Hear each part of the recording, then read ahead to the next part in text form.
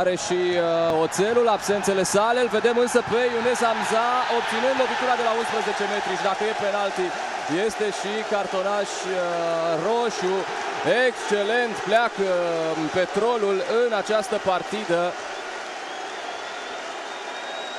Cartonaj roșu văzut de Zoran Ljubinkovic. Fost niciun moment gravă eroare în centrul uh, defensivei celor de la, de la Oțelul.